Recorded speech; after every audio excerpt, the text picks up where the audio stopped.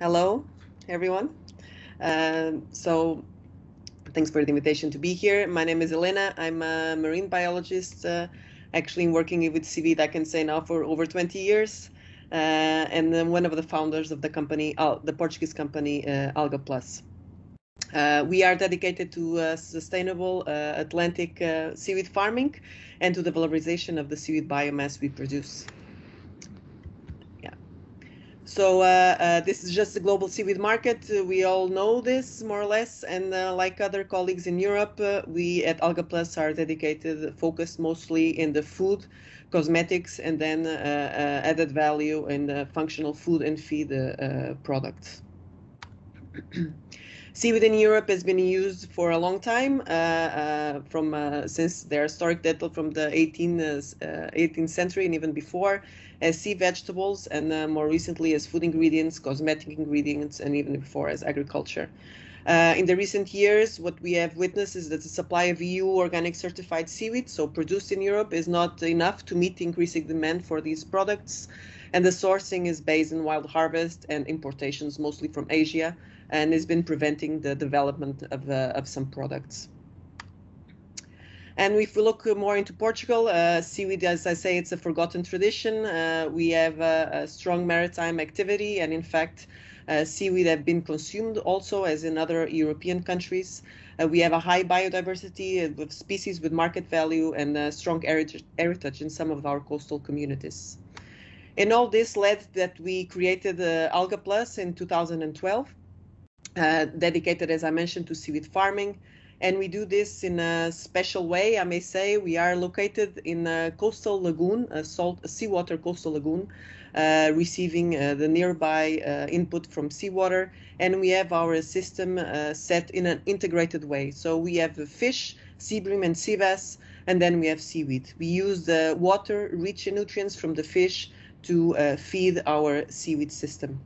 It's an area of 14 hectares set in a Natura 2000 site, and this, uh, for the ones you don't know, it's an ecological uh, protection area. Um, this integrated system allows us to have organic certific certification in our products uh, as well as a clean label production. So it means we don't add anything to our uh, seaweed production. We do this year round and with a strong focus in R&D. Oops, sorry. So we have uh, the system set that we can control our production from the seed up to the finished product. We have a nursery with a culture collection. We have a land-based tank system, and then we have a processing facility certified according to uh, international food safety uh, standards. Uh, in all this system, we have uh, a year-round, as I mentioned, but we are also versatile for several species, and we have traceability uh, along the way.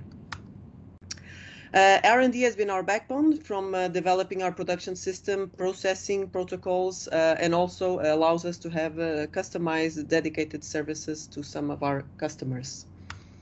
Uh, this allows us to achieve some uh, proprietary knowledge, as I mentioned again, from the cultivation system to the protocols, to some varieties that we have in culture of seaweed, up to new developments in terms of production and harvesting this is what we have. This is our seaweed unit.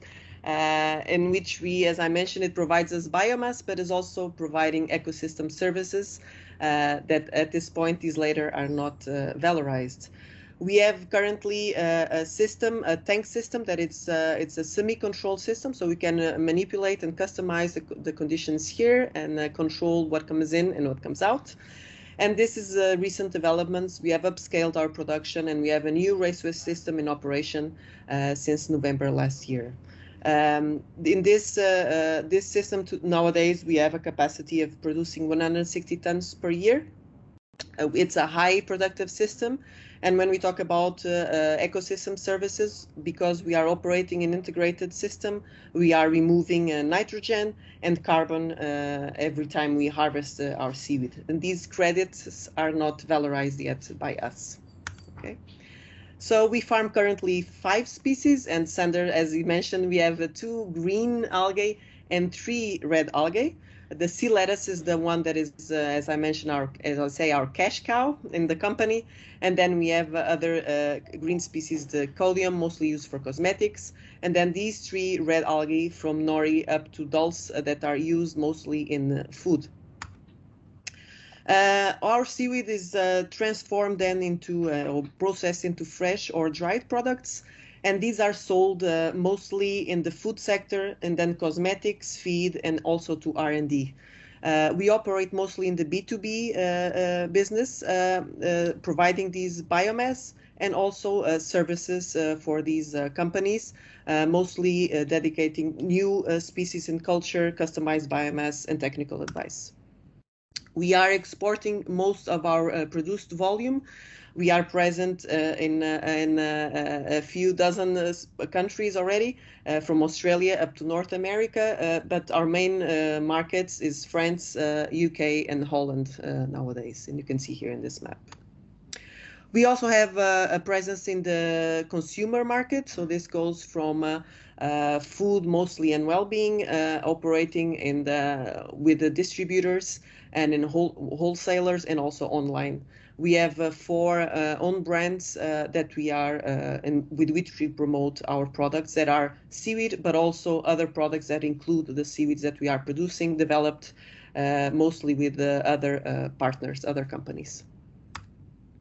Uh, R&D has also led us to new products in development as again this is a trend. So we have from burgers uh, some with meat some with fish others vegan. Uh, and the, the idea is always to have tasty and convenient uh, food products uh, that we can have health and nutritional claims uh, by the end um, and what we, for us, what we've been developing is promoting uh, the, the consumption of seaweed by the, the industry, and also at the same time having uh, access to some proprietary formulations of these products. Very important for us is our outreach and social responsibility that we have started since 2012 and we work with schools, with the professional students uh, and uh, some uh, institutions that also package um, do our some of our um, packaging for our products. And we promote technical tourism always with the idea of uh, uh, showing people what are seaweed how what how do they grow and what they can be used for uh, in a way of disseminating and uh, uh, um, how do i say widespread the word about seaweed. We are also active in some rele relevant sectorial work groups some of them already mentioned by Sander, the European Normalization Committee, but also in the International Seaweed Association and the, the, the Safe Seaweed Coalition and Seaweed for Europe, and also some national clusters and, uh, and sectors for aquaculture and algae production. And this is very important to uh, spread the word. During these years, uh, almost 10, we've been recognized from our for our entrepreneurship uh, nationally and globally. And uh, I'm very happy to say that this has been a, a long road, but also a happy one. Uh, just an overview, and I think it's important from the evolution steps of our company. As I mentioned, I'm a biologist, and the, and the ALGAplus was created by me and a colleague, also a biologist. Uh, and the idea was generated in 2006. It took some years to kick off the company, and uh, we've had an evolution in these last years that uh, uh, had a, a, strong jump in 2017 when we had new shareholders. And then uh, in 2020, we had a kind of a standby like everyone else. But during these years, we're, uh, we were uh, able to uh, develop the sector in, in Portugal. And nowadays, there are more companies starting to operate seaweed aquaculture farms in Portugal. And this is very important for us also and as a promoter of the, of the sector. Nowadays, in 2021, we are uh, uh, recovering from the COVID impact. We had new shareholders coming in in February this year. We have an investment plan foreseen up to 2022 of 2 million euros, mostly for upscaling production and invest in quality and people. Uh, and people are our main asset, like in all the other companies. We are today 16 people, um, very well balanced in terms of genera, and as you can see, we also have fun uh, uh, working in the ALGAplus most of the day, especially when it's warm. So by participating here, we are looking for promoting basically the seaweed sector, seaweed farming in Western countries, but also uh, interested in discussing with some of you uh, uh, listening to, to us today, uh, customers that are looking for seaweed ingredients uh, or some uh, seaweed-based food products. distribution partners, mostly outside of Europe, that we are trying to expand our our our um, distribution channels because we are upscaling production now and of course, more globally, anyone interested really in combining efforts and collaborating to develop uh, the seaweed farming sector here in Western countries. Obrigada. Thank you so much for listening, and I'm open to your questions. Thank you so much. Thank you so much, Elena. It's fantastic to see. There's definitely a trend of uh, seaweed picking up around the world and many companies jumping on board. Uh, Runar, if you'd like to pull up your slides, hopefully you can hear us and everything's working. Yes, everything is working now. So let's see. Mm -hmm. I'll remind you to switch off your cameras if uh, you're not one of our speakers and, and make sure to mute your microphone.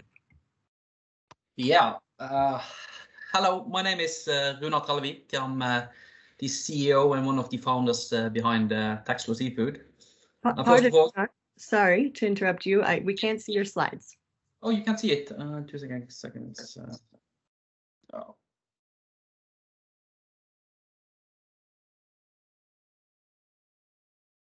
There they come. There they come. All right. Perfect. Go ahead. Yes. Yeah. So um, yeah, here at the picture you can see the beautiful island of Tekslo, uh, which we got our name from. Uh, yeah. So yeah, thank you so much for the opportunity to present our company here at the Bluetech Global Connect. So Tekslo is based in Norway, just 40 minutes outside uh, Bergen. Uh, yeah. Our, our vision is to create great international brands of seaweed products. And to do that, we use sustainably harvested seaweed from the North Atlantic Ocean. We do some harvesting ourselves, as you see here at the picture. This is uh, harvesting uh, Laminaria hyperborea, which we have like 50 to 70 million tons of here in Norway. Uh, and we also work together with the wild harvesters in Iceland and Ireland and Scotland, and also seaweed farms here in Norway. And that's just to make sure that we have enough seaweed when the market uh, really starts to to rally. And we're also in the process of applying for our own seaweed farms at uh, just outside Bergen here. So the problem uh, we see is that it's three different kind of problems.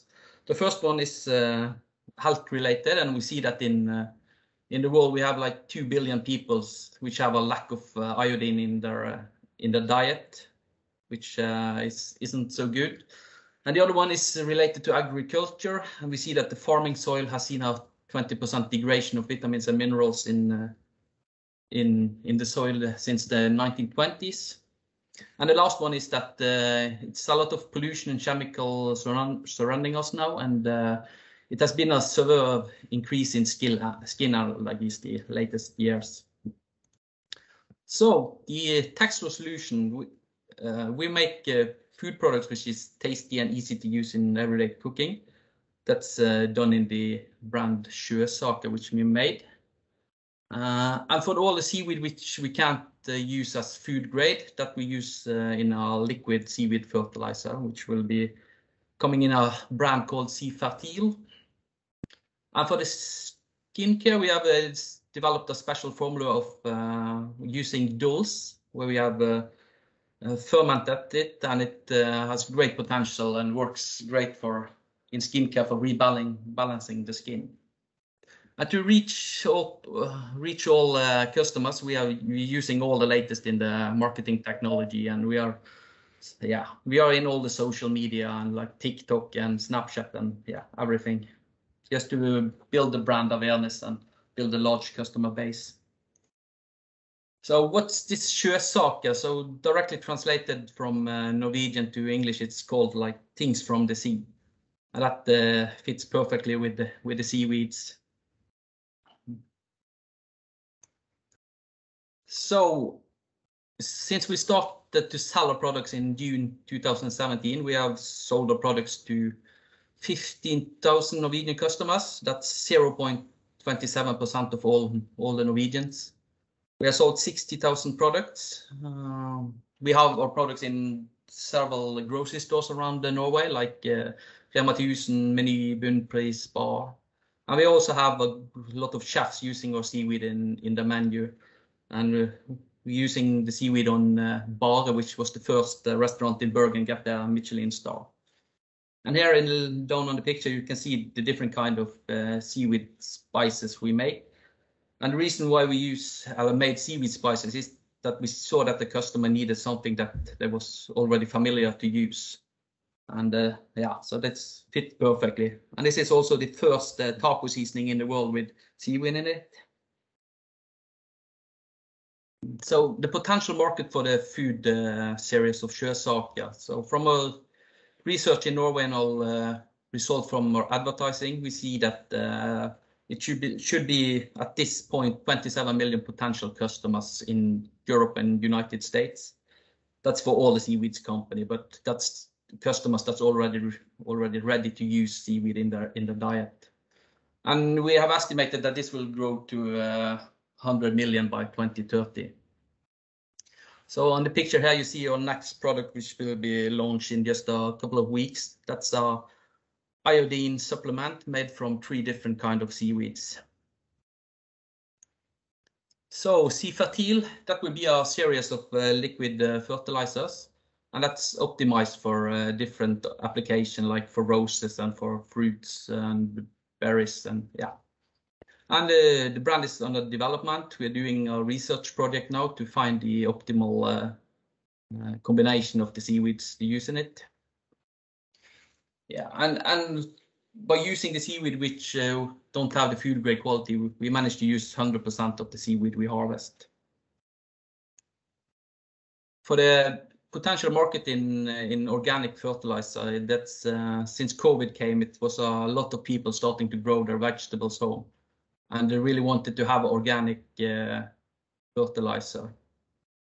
And the prices on organic fertilizers goes on like 15 euros a liter. And uh, from a residue production, we can, yeah, we have a production cost per liter on only 2 euro. So for the skincare brand, that's also under development. We have, uh, we're just ready to start testing the first batch of the different formulas.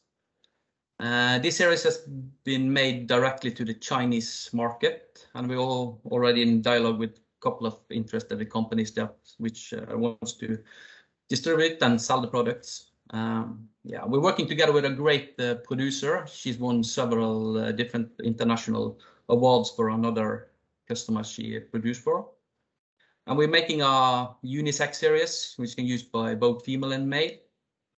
And the products have been developed with focus on repairing the skin, and we're only using natural ingredients with a with an extract from the dulse as one of the most important ingredient. Yeah, so for the skincare potential market, uh, that's one of for in China at least, it's one of the fastest growing market in the world.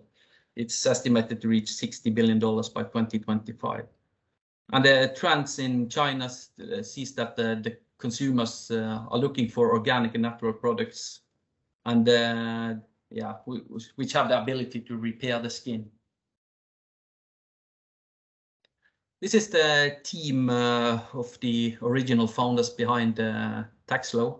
Uh, all of us came from the industry. Uh, me and uh, Jan Petter worked together in Aker Solution. And me and Robert have been childhood friends from yeah from early age. So yeah, we, we all of us wanted to uh, do something better, and uh, we all had a love for the ocean. And uh, so we saw that in 2016, the chefs in uh, uh, restaurants in Bergen started to using seaweeds on the menu. The company was started 2016, and uh, yeah, it has been a really interesting tour so far yeah. Uh, so at the end, so what we are looking for at this stage we are now, uh, we're looking to do a Serie A founding in uh, early 2022, looking for 7.5 million in founding euro. And that's for accelerating growth uh, for the existing products and also develop new products. We have uh, uh, one fucoidan product in our pipeline and also a vegan series of seafood products. Now we're also looking for international partners, and that's to bring our seaweed products and brands out to the consumers. And to to make sure that we have enough seaweed for for the growth we're also looking for international suppliers of high quality North Atlantic seaweeds.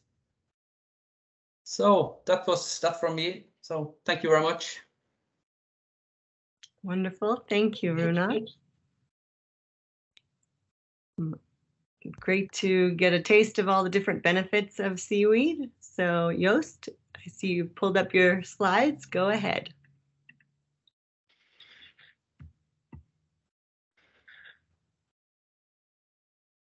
Oh, I think you're on mute, just so you know.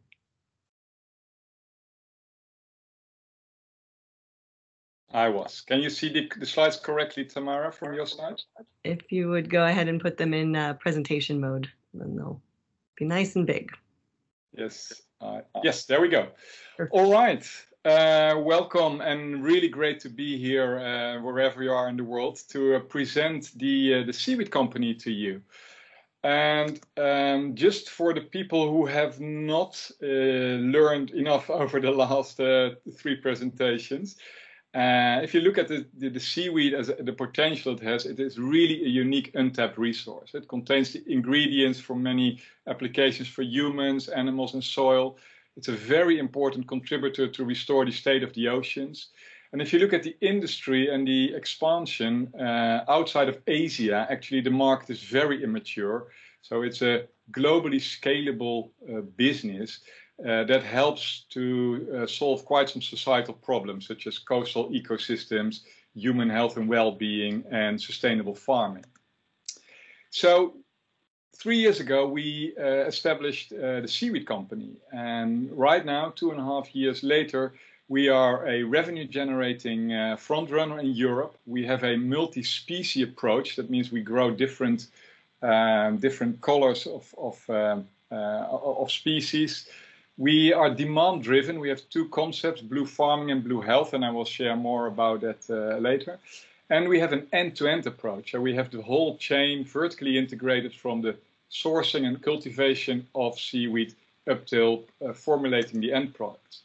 And if I take you a little bit through our journey, we started in 2018 and we've built uh, the Seaweed Company base where we've pioneered, developed, uh, validated, and we've built some partnerships. And over the last two and a half years, we have uh, uh founded five farms. We have five seaweed farms in Morocco, India, in Ireland, and the Netherlands. We have four concepts, cultivation concepts that we can roll out. And right now we have cultivated about over 50 tons of dry matter, and that's uh, our monthly rate right now is about 30 to 40 tons dry. Um, if you look at the next step, uh, as of tomorrow, we are looking to exponential impact uh, in Europe. And then five years later, we would like to have global impact on that. Now, just a, a brief view on the team. The most important people are, are, are uh, behind we have a team of about 20 people, very passionate about seaweed, bringing in all uh, different expertises and and and, and uh, yeah and, and, ways to, to contribute to our uh, to our seaweed company. And the leadership team is a quite uh, yeah diverse team with sales, marketing, uh, financial, biology, uh, and strategy experiences. Now, I just talked about the fact that we have an end-to-end approach. So from cultivation to uh, the formulation of product. And we think in this stage of the industry that's very important. So we have a quality assurance of all the elements. And in the future, we might be able to outsource several steps in the upstream or downstream part. But right now, we think the only way to be successful is to cover that whole, whole chain. And this is a view of, of the different seaweed species that we uh, cultivate. Most of them we cultivate some of them we have strategic partnerships to source. And this means that we have a broad variety uh, of seaweeds to create different portfolio for our, for our products. And to get an idea about our operations, here you see our Moroccan operation where we mainly grow um, uh, ulva, the sea lettuce. On the right, you see our factory in India where we uh, grow and process uh, red seaweeds. Uh, here on the left, you see our uh, Irish um, uh, farms that we have in Mulroy Bay and Clew Bay. And we have our own R&D center where we do our own research and see how we can uh, yeah, support the seaweed seedlings and, and, and improve on, on, on, that part of the, of the value chain. As well, we have our engineering team and we are developing our own machinery and prototypes for harvesting machines, for instance, for automated seeding of nets and ropes. And finally, uh, one of the concepts that we are actively involved in is a project called United, which is an EU-funded project, and this is the very first global um, offshore farm, a seaweed farm that we are putting uh, 12 kilometers in front of the Dutch shore with, uh, let's say, 14 meter high waves and, and strong currents. Now, if you look at what we are doing with the, the, the coming years and how we are, uh, how our strategy works, is we focus basically on four areas. As I said in the beginning, we focus on blue farming and blue health. And with these two fo focuses, we are using the blue power of the sea, the, the, the seaweed and, uh, and, and, and, and, the restoration of oceans to accelerate uh, sustainable agriculture and also to support human health and well-being and, and, the shift to sustainable diets.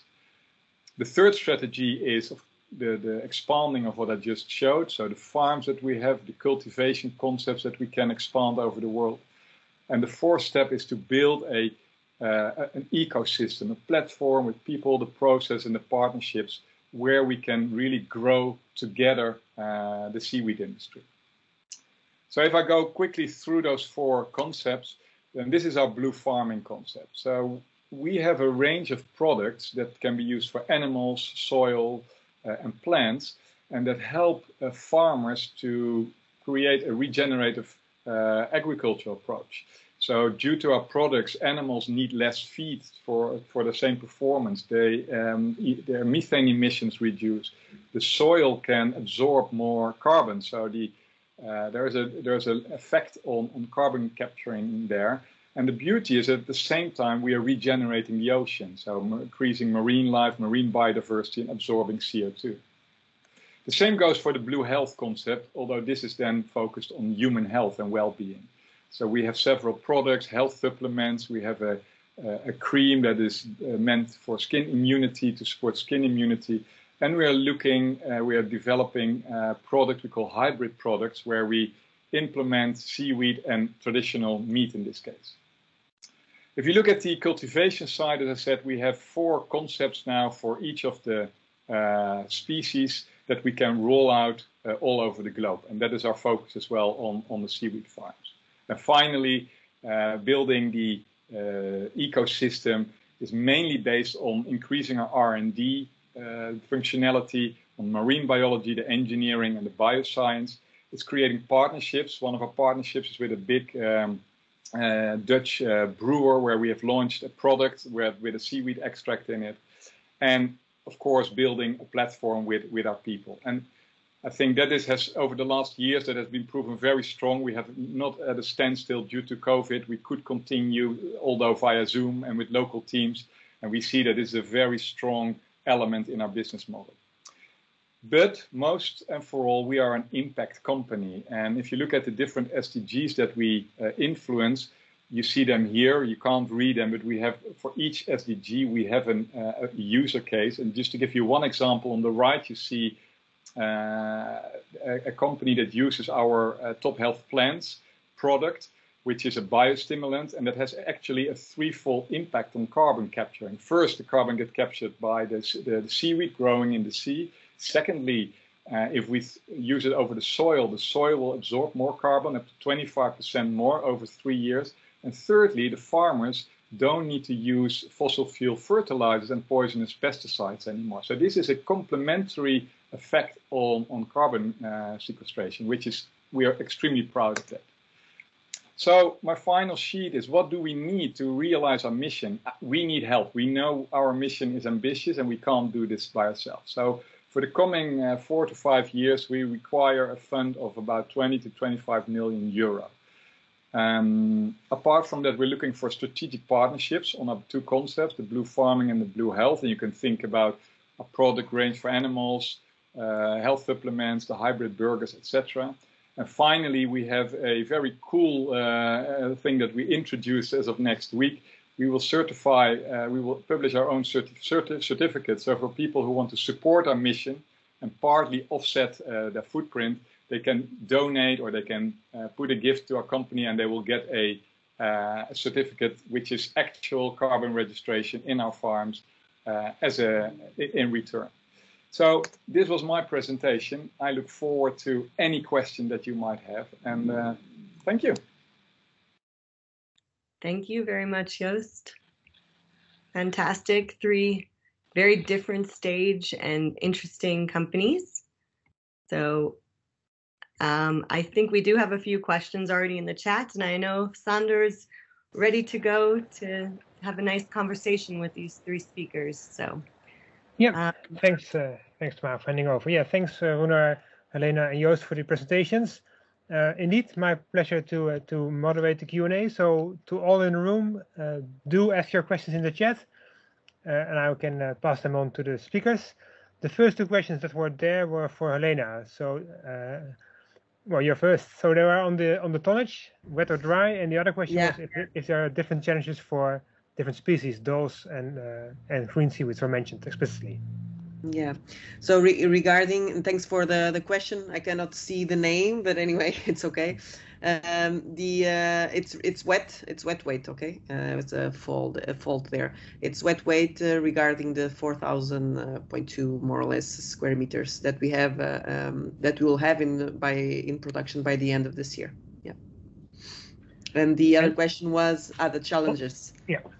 Yeah. Well, that is a very good question actually. Um, uh, it is very challenging today it's it's quite different. So when we mentioned that we started uh, and our cash cow is ulva, uh, ulva I would say it's the easiest seaweed to grow into our regarding our um, our experience these years when we talk about uh, uh, these land-based and smaller species. Of course, it has uh, protocols that need to be adapted throughout the year to be able to have a consistent yield and a consistent quality. Otherwise, seaweeds normally can get stressed and uh, we can lose all our production in a few days. So this is the main uh, uh, main uh, concern with the ulva production with the green seaweed, maintaining quality and consistency of the yield. But it's uh, we do it in uh, what we call um, vegetative propagation. So we are not going through the whole cycle of the whole life cycle of production of the seaweed. it's the relative short production cycles. We can say that it's between two to four weeks production cycles that we can have throughout uh, the year. Regarding dulse, uh, to my knowledge, nowadays there isn't still a, a commercial scale farmer for dulse uh, uh, in Western countries. Most of the, most of the dulse that is uh, used today in food and product development is wild harvests. Uh, and dulse is there's been a lot of PhDs, master students, research globally around dulse cultivation, and uh, even uh, uh, when I mentioned that we are cultivating it today, we can only do it a few months per year, and it's still at a very small scale. So it is a very challenging species. Uh, you can do uh, farming by uh, going through the full production life cycle or the full life cycle of the species. This means having females and males and having the gametophytes and the sporophytes. So um, for people that are not biologists, we don't need to be here explaining everything, but it's a more complex cycle or we can do it also um, by prop uh, propagation. But it's still there's still a lot of research to be done in order to be able to have a, a commercial scale.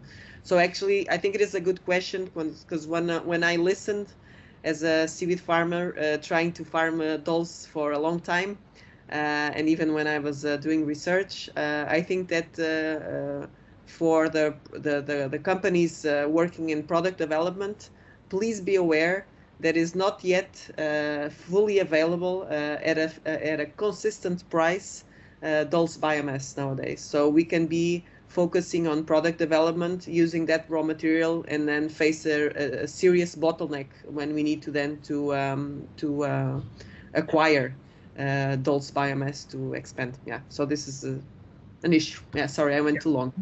no, that's okay. Thanks for that answer. It's interesting. No worries. Thanks. Um, so two new questions popped uh, up by Mike, and I guess they are of concern to all three of you. So uh, let me start uh, with Runar, uh, since it mentioned uh, wild harvest. Um, the question here is if there is a, an atlas that, that, that, identifies where the commercially relevant species occur naturally. And, and second part of that question, if there's any guidance on sustainable seaweed culture and, and wild harvesting. Yeah, uh, yeah, we've been in a project through something called uh, Norges Vel, uh, working together with uh, companies in Faroe Island, Iceland, Ireland, and Scotland.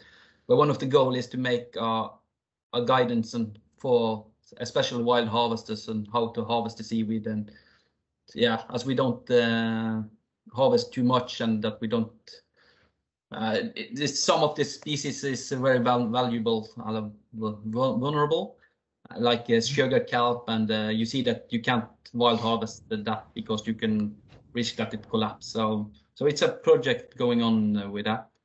According to the Seaweed Atlas, um, don't think I can answer that one. I'm not quite sure. Yeah. Okay, well then I think Helena wants to yeah. jump in there. Yeah. Yeah, I can say something on the well in both uh, subjects, uh, and then I'm sure uh, um, uh, even uh, uh, Stefan that is there can also say something.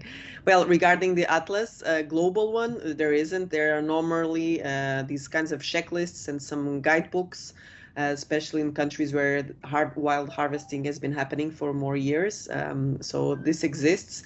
And also in those countries, there are, uh, and I mean France, for instance, uh, uh northern France, uh, there are um, um, best practices for wild harvesting regarding the seasons where you can harvest, the size of the seaweed, and the, the maturity state of the seaweeds in order to preserve the wild populations that are very important to uh, to maintain the ecosystem services that they perform in our coasts. So I, actually, um, that is one of the main issues uh, in, in, some of the countries that are starting to develop or that have been wanting to do so. Uh, and I give you the example even here in Portugal, we've been trying to have these best practices published and implemented, and they aren't yet. So, and there have been projects since uh, 2010 at least, a large European Netalgae that tried to do that uh, and to establish best practices for harvesting and uh, cultivation. Regarding aquaculture, the best practice don't exist yet, but one of the works uh, working groups of the normalization committee is exactly looking at uh, at these uh, some of these issues even simple things that we may think of, just uh, concepts and def defining what is yield and uh, growth in the production system to be commonly understood by uh, in a more globally way. So kind of lose the more regional aspect of some of those most things. Yeah. yeah. So this, Thanks. This and, and, let me let me uh, go to Joost next. So you work in different parts of the world. How how do you see this? Is there sufficient guidance on how to operate sustainably? Or? Well, I think uh, that's also yeah in, in progress. Uh, but I would like to use this opportunity to pass the word on to Stefan, my colleague and who knows everything, because I have other obligations right now, and it's a perfect question, I think, to smoothly shift over to Stefan. So, uh, so Stefan, would you uh, take the honors, please? Yeah, no, no problem, Joost. This is a a very smooth way to uh, hand over the scepter. First of all, on, on the checklist, there's books like this. Books, uh, yeah, in exactly. many countries, many places. This is for Britain and Ireland, and there are books like that for America, for Canada, for Chile, Peru. Yeah. So you can find all this stuff. Um, mm-hmm. On the regulation, um, there is at the moment uh, European legislation for organically cultivated seaweed and there is guidelines on, on, on amounts, on how to register, how to uh, put it in the books, and all this kind of stuff, stuff that you also can be checked by government yeah. regulations. So that is in existence. Now, of course, if you go to uh, countries like India, for example, where we have an operation, that is not well developed yet, uh, but we are working on this. Also, the Indian government has now taken uh, seaweed uh, high on the priority list and they want to be in the top 10 producers in, in a couple of years. So this is all being pushed towards sustainably harvesting. And I already can tell you here and now that wild harvest is 20, 25 years and then it stops, at least yeah. in Europe. Yes, because yeah. of ecosystem services, on uh, the pressure on it, uh, amenities, uh, coastal resources, it will be phased out. And it yeah. is moving towards cultivation for the species that we can do that. well, for the species that we can do that, yeah, yeah. But most species you can, as long you as can, you yeah. mind to it and get exactly, do it. exactly, exactly. Okay. Get the monies, yeah. the euros. Thanks, uh, thanks, Stefan, for that answer. So there was a follow-up question for Joost. Uh, uh, so he, I think he left. I don't know if you can answer that question, but it is on the uh, how much equity did your company raise up to date, excluding grants? Um, Three million. Three million. Okay. And and the second part of that question is where do you see near near-term opportunities for large-scale farming of seaweeds? Well, first of all, here in Ireland, uh, where I'm based, because Joost is in the Netherlands, I'm actually speaking from you from, from Galway, Ireland. Uh, we have at the moment a application in for four square kilometer. And that, in my eyes, is a reasonable scale up compared to where we are at the moment. But with that come a lot of questions uh, because is your seaweed in the middle of your farm growing just as fast at on the outside of your farm? So that is still research and and uh, yeah a lot of work to figure out. But we want to make that jump to the next level. Yeah, thanks. Yeah. And, Yeah. and, and that touches upon the topic of scalability, which which Joost mentioned in his presentation as well. Uh, Runar and Elena, how do you look at this? Where's the opportunity to scale up your operations in the near term? Yeah, uh, I can go uh, first, Runar, if you don't mind. Okay. And also because I connect to what uh, Stefan was just uh, mentioning before. And I think also the question of uh, where is better depends always on the species that you want to farm. So it's not a question of space, also is the conditions of the species that you are looking for uh, upscaling. Um, yes, we uh, regarding more ALGAplus, we are uh, we are in the process of upscaling nowadays. So as I showed in the presentation, we are validating and uh, testing and demonstrating at this point the raceway system that can be applied here in these uh, coastal lagoons. Uh, the place where we are is 14 hectares, and we are just using uh, 4.2, uh, um, sorry, 4,000 uh, square meters. So there is space for scalability at our own property, and more importantly, I think that by validating this type of of production system of these raceway system that are suitable to be uh, implemented in uh, ecological uh, areas where normally there are there can be some uh, infrastructures that are abandoned that are not being used uh, and that the communities uh, coastal communities are have been trying for some years trying to find something to do with those areas. I think that if we can be uh, validated the the potential for upscaling for these species is uh, is large here in Portugal, southern Spain, southern France, uh, Italy, where these types of uh, systems exist also. So it really depends on the species and on the the production system that is more suitable for each species, and of course the, the location. Yeah. Thanks. Uh, Runar, where's uh, Tekslo? Yeah, Thanks for uh, as I mentioned, uh, yeah, we're working uh, together with a lot of the seaweed farms there in Norway.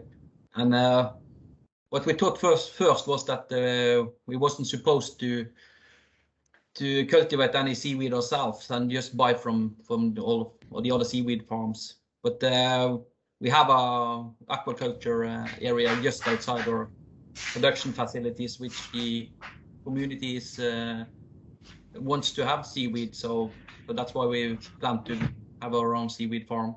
But uh, but in Norway, it uh, has been a lot of new seaweed farms coming up. So we just it needs to build a market, and um, then I think we see, I think that we see that Norway has uh, one of the largest uh, seaweed production uh, in a couple of 10, 15 years. Yeah. If I may add something, just Sure. Sander, uh, I I think that uh, the focus, of course, uh, and I didn't mention this for upscaling, and that's that's common to all of the colleagues that we discuss here in Europe, is the focus in technology and becoming more efficient in terms of uh, labor labor and optimizing our operational costs.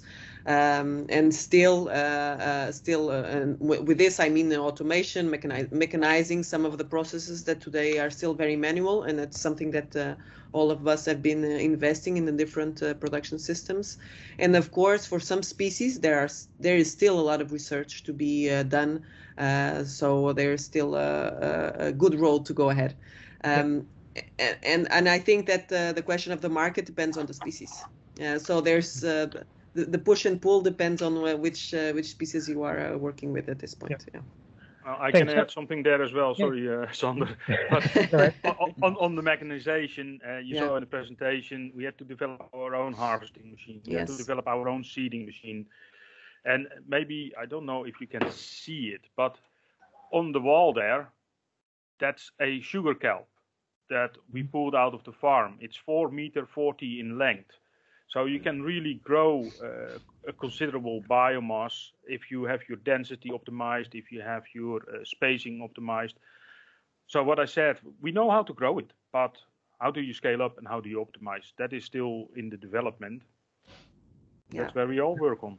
Yeah, Thanks. and it and it takes time. And uh, sorry, and it takes time. And this is just to say when you when you look at companies, uh, especially if you are, it's different if you're farming, if you're processing, if you're uh, the, the the the the the due time is uh, the, the lead time is Yeah. different for different processes. Yeah, so it takes time when you're uh, trying to set up something that is new because there's a lot of optimization to be done always. Yeah.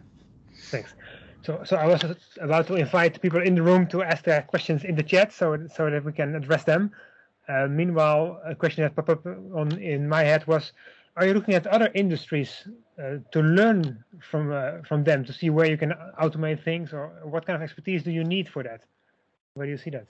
Well, Yeah, go ahead, Lea. Yeah, we've been doing that. Uh, we've been looking a lot to agriculture, ortho agriculture, to uh, the agro-food industry, basically, because uh, especially because we are working again in the food, so some of the quality criteria are important. They have uh, developed uh, uh, mechanisms and, and machinery that is can be adapted. Of course, it's not straightforward, but can be adapted to uh, to to that, and also uh, some processing of of seafood. That of course it applies, especially in terms of materials.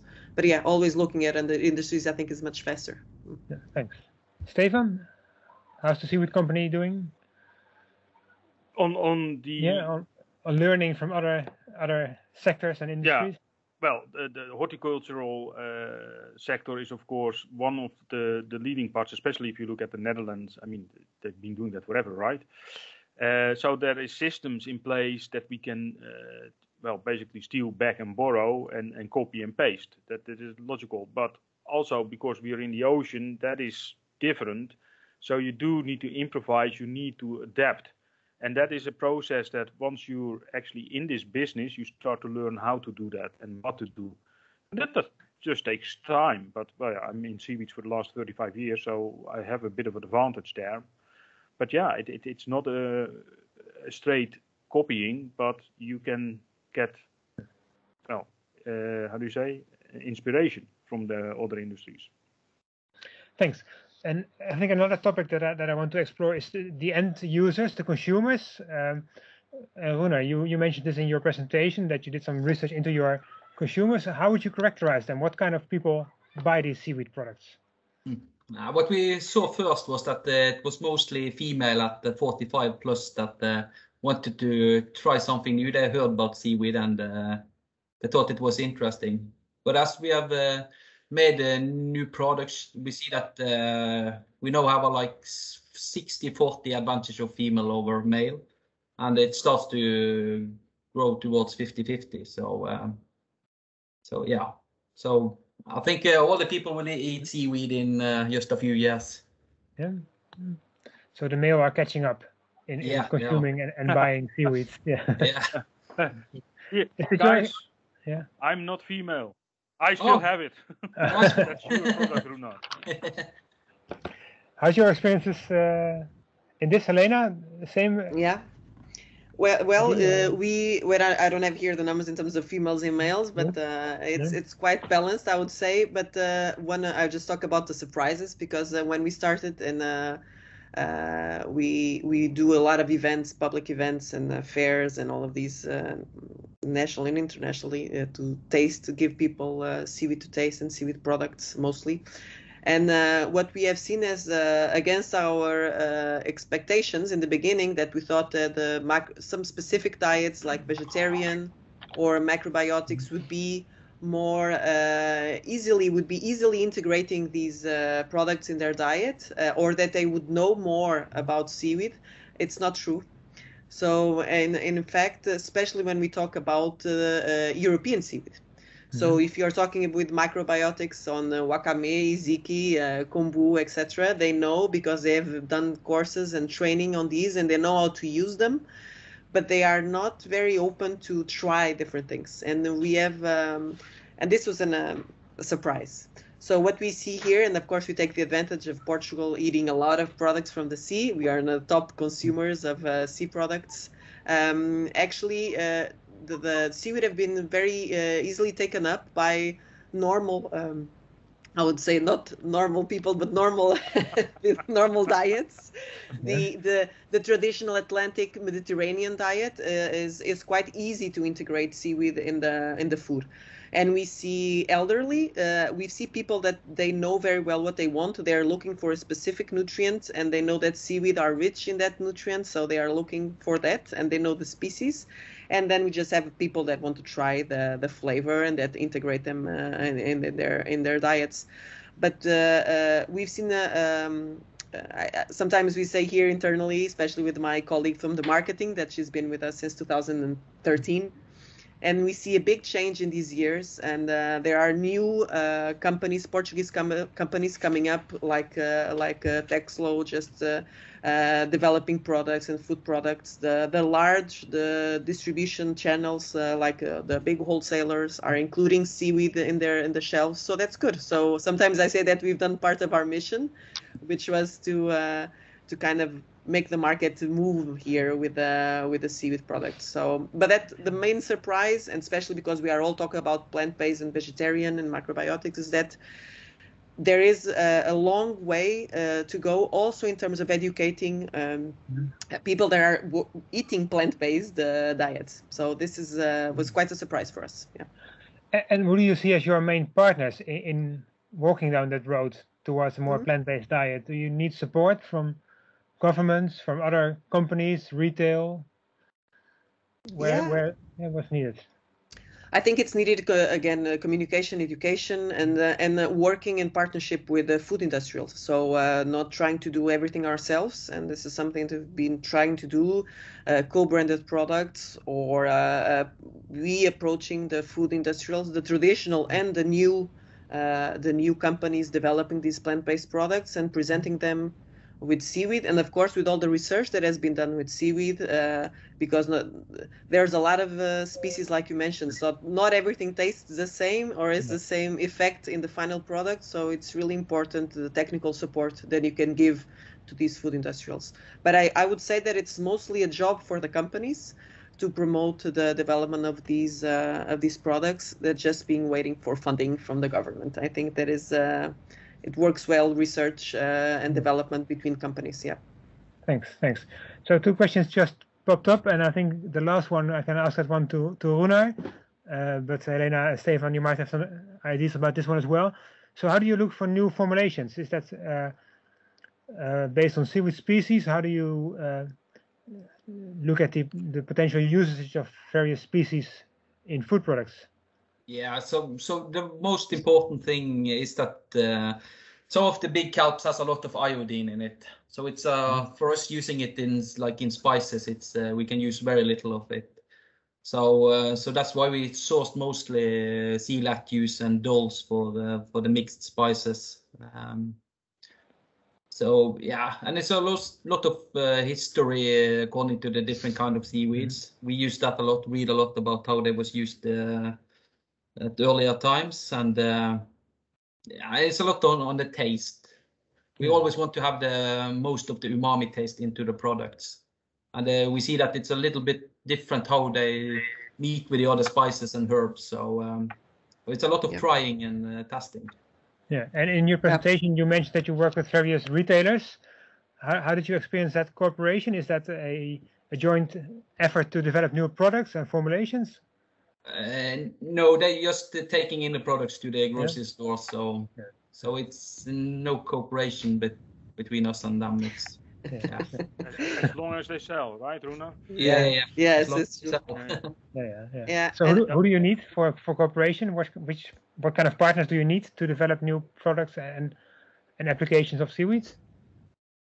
Uh, yeah, we need uh, yeah for for other markets than Norway, we uh, at least, least uh, need uh, distributors. Um, and yeah, that's the most important one. Um, and yeah, yeah.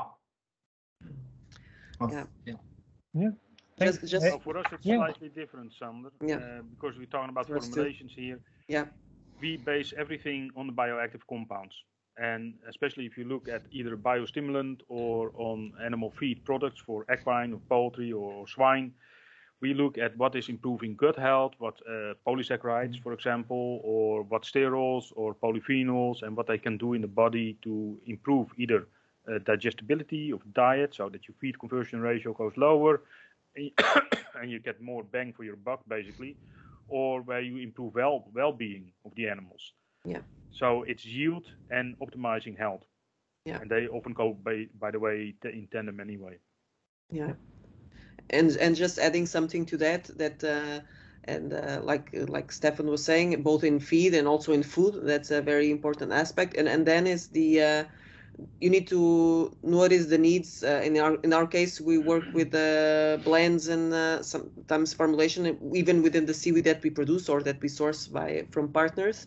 And it's the question of understanding your customers' needs. I think that's uh, what should lead the formulation. Should need, should be the need of your customer. That's how we think about it normally.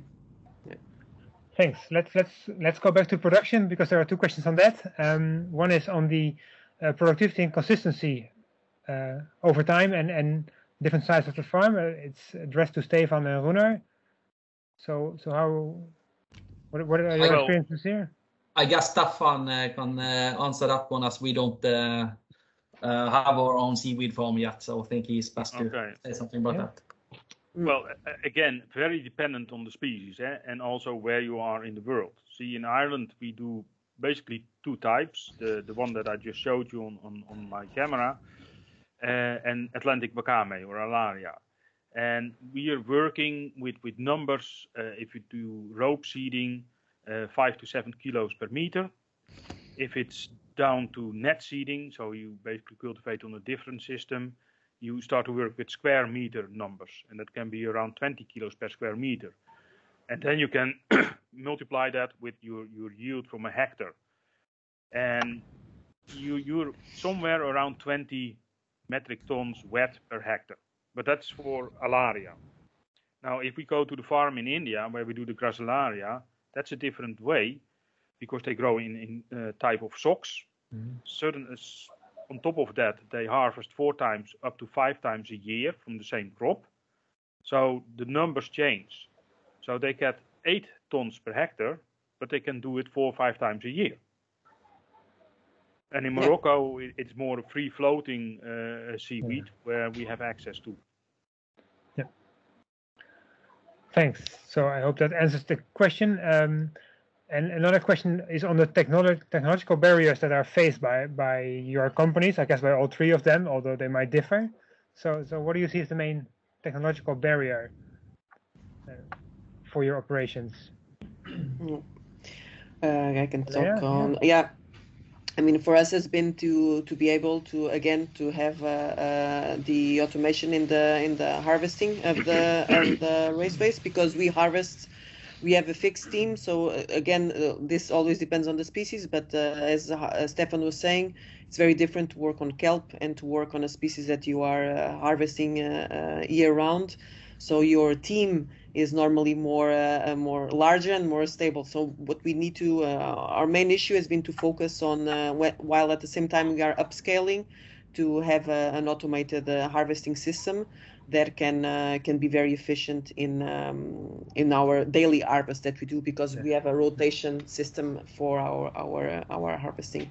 Yep. The other thing would be to uh, I would say integrate because in this type of production that we work on is to integrate uh, that we kind of do it already, but look at the uh, uh, to have forecasts on your productivity depending on the on the climate on the weather that is coming in. And this is something that exists in an R&D scale, but when we are talking about upscale again, it becomes quite costly still to invest in a, in a kind of a, in, in that ty- types of systems um, and models that can uh, they can mm-hmm. forecast your production. So this is something that is quite important in our uh, kind of operation, especially now where while we, sh- we are in June and we should be having light and sunny weather and it's raining and it's low temperatures in Portugal. So this changes all your models and forecasts yeah.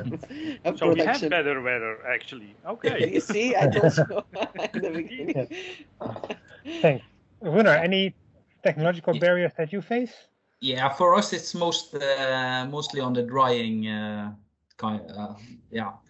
So uh, today we have uh, we made an optimal uh, solution for drying small quantities. So today we can dry our 500 kilos of Laminaria hyperborea in 72 hours and on 30 degrees for just 20 euro cost in electricity. But to take that up to a larger scale and to to dry like uh, 100 ton in just uh, three to four weeks, that's uh, that's a big barrier. Thanks. I see Tamara has turned off, turned on Yeah. her camera, which uh, must be a sign Yeah. that we are uh, about to end this meeting. Uh, I see it's already six uh, Yeah, I hate to p.m. interrupt over here. discussion. I, I think it's really great. We thank you very much to our wonderful speakers and to, to the audience for the very good questions. I see there's a lot more coming in. So uh, if you, when you registered, um, you got on our mailing list, I'll be sending out the profiles of each of these companies. So you will be able to ask some more questions and contact them. Delighted to have you guys. It's a super important topic in my mind. I think we're humanity's facing all these challenges and seaweed has the potential to solve a lot of them. So really glad to have the discussion. Um, I'm going to go ahead and bring up the contact info again. I hope you enjoyed the event. It's one of TMA's, you know, connecting networking events, and you're welcome to explore membership with us um, and and get more of those perks. So it's my shameless plug for the day. Um, thank you very much, Sander, for joining. our own shameless plugs today, so that is fine, uh, Tamara. yeah. Great. I'll uh, be Yep. sending out the profiles and the um, recording links. So please check out our YouTube channel and look at all of our BlueTech Global Connects. Thank you. Thanks. All right. Thank Thank you. you. Goodbye. Nice seeing you you. all. Bye. Bye. Cheers. Bye bye. Thanks. Bye. Bye. Thank you. Thanks, Samara. Oh, it's a pleasure. Thank you very much.